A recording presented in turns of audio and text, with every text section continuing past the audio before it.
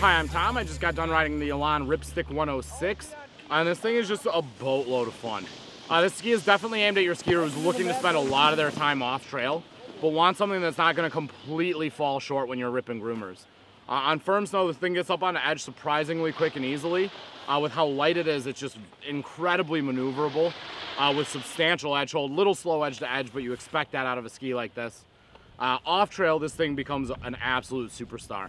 Uh, tons of tip flotation, the thing's easy to skid and smear, but again, it's just so lightweight and so poppy that it offers you tons and tons of energy. A skier that's definitely in that high level intermediate to advanced skier that just doesn't want to ski on trail as much as they can avoid it, uh, this is a great option.